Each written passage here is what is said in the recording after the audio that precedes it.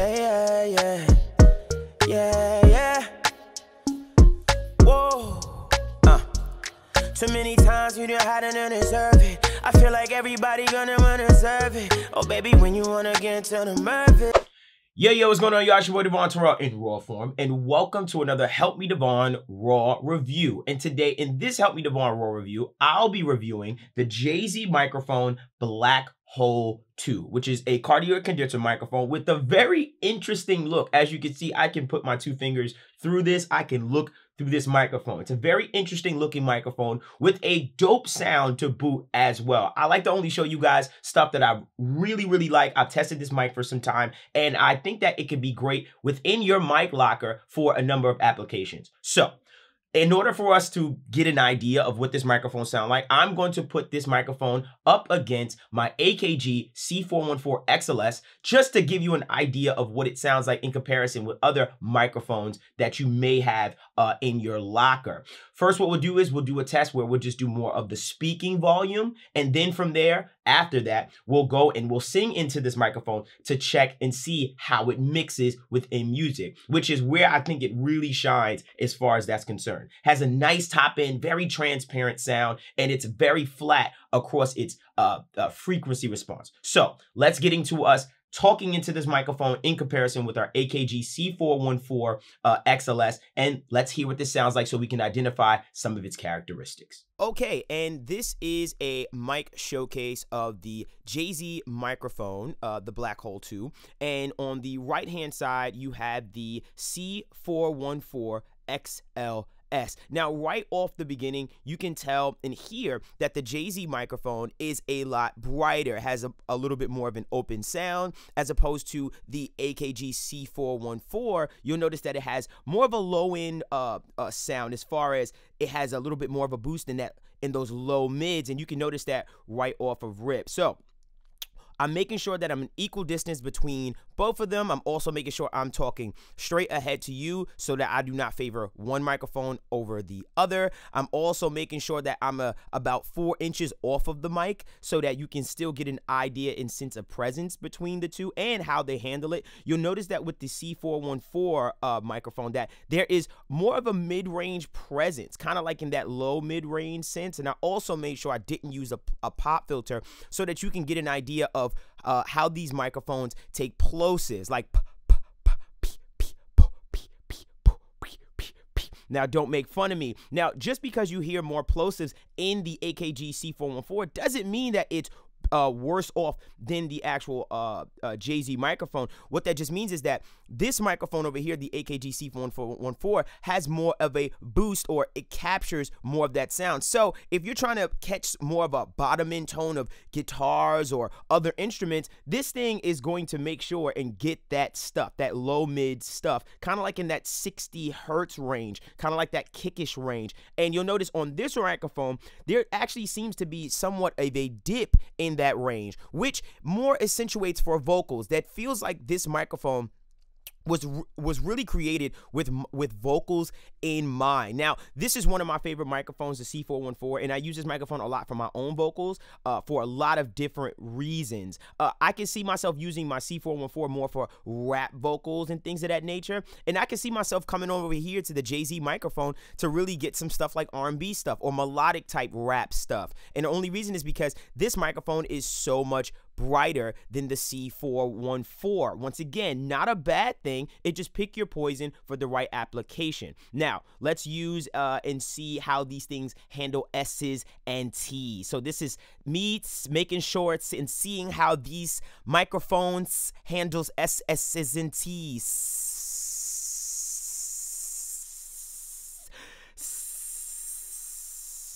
I am now extremely light-headed and trying to figure out how these microphones handles S's and T's. Do not make this a video and make fun of me. So I'm listening to this microphone. I feel like the JZ microphone would mix really easy with modern day kind of uh, uh, melodic hip hop or uh, R&B type of stuff and I just always adore my C414 XLS when it comes to rap vocals or just stuff that I need a lot of presence on. This microphone right here has a ton of presence that I like a lot and this microphone has a a lot of high end that will surely just cut right through the mix and probably be really easy to mix with. So you can pick your poisons with the two microphones uh, and use your own ears and opinions as far as what you would like um, uh, to use for certain applications. But both of these mics are amazing and great. Take your pick, and that's basically going to end our little uh, display.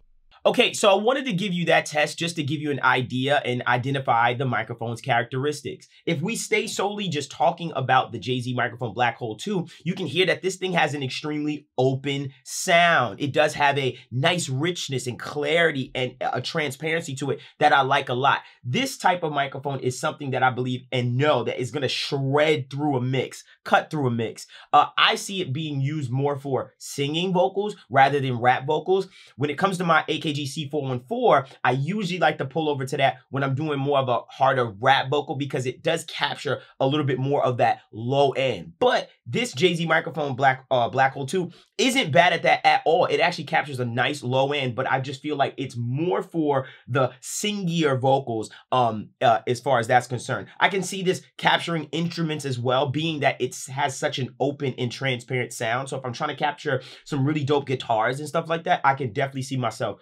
pulling over to the Black Hole 2 to do so. Okay, so like I told you before, this thing I feel and believe it shreds through a mix, meaning it cuts through the mix really well. So let's sing into this microphone with some bells and whistles on it, and let's get an idea of what it sounds like actually in music being recorded. Okay, great. So let's test out this microphone with actually recording somewhat of a song so you can get an idea of how it mixes uh, into music. I'm gonna use one of my Help Me Devvon templates from the helpmedevvon.info store just to load this thing up and just get something going out the gate and let's see what it sounds like.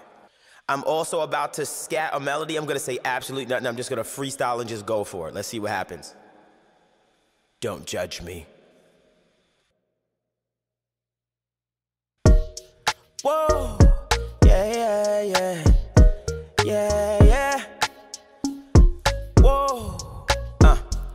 Too many times you done had to deserve it. I feel like everybody gonna wanna deserve it. Oh, baby, when you wanna get into the nervous. But every time when you got it, I feel like when you got it and you stop the way you going on. And nothing else I'm on most. But every time you wanna get nothing, I feel like in the one it coming up for something. When you got fall back, it made a make sense. Change something, the thing that what might change. Everybody know that we wanna see change. But I'm gonna go when I see that money lost and I Love it, hate the way you moving this. Cool to see the things you doing this. Wanting nothing when it's something new. And I just want you to know I won't find you every time you fall through. See when I gon' call you, baby, it's my.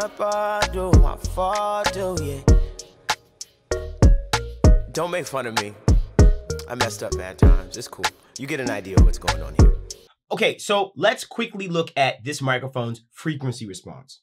So when you look at the frequency response, you can clearly see that it's not much of a big boost in certain frequency range. You'll see that for the most part, it's relatively flat. And with it being flat and sounding the way it does, I really enjoy it. It has a transparent sound, uh, and it would feel like, and I would assume that it has a boost, a really decent boost in the top end, but really the boost is pretty slight. So you can see for the most part, there's a little bit of a boost in the low end uh, to accentuate those parts. And then there's a little bit of a boost in that 4K range to accentuate that top end, which I could tell that's probably where that a little bit of that definition and clarity and richness come from. And you'll also see that right here, it's a cardioid pattern, uh, which basically is very, very typical when it comes to vocal microphones, instrument microphones, uh, and things of that nature. Okay, great. So let's test out this microphone with actually recording somewhat of a song so you can get an idea of how it mixes uh, into music. I'm gonna use one of my Help Me Devvon templates from the helpmedevvon.info store just to load this thing up and just get something going out the gate. And let's see what it sounds like. I'm also about to scat a melody. I'm gonna say absolutely nothing. I'm just gonna freestyle and just go for it. Let's see what happens. Don't judge me. Whoa, yeah, yeah, yeah, yeah, yeah. Whoa, uh.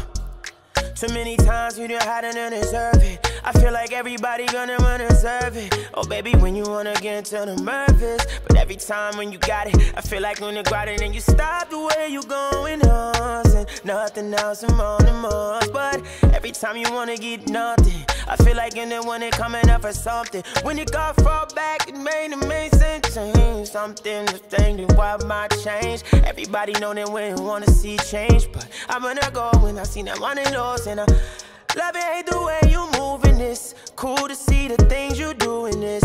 Wanting when it's something new, and I just want you to know I won't find you every time you fall through. See when I gon' call you, baby, it's my do my fault, do yeah. Don't make fun of me.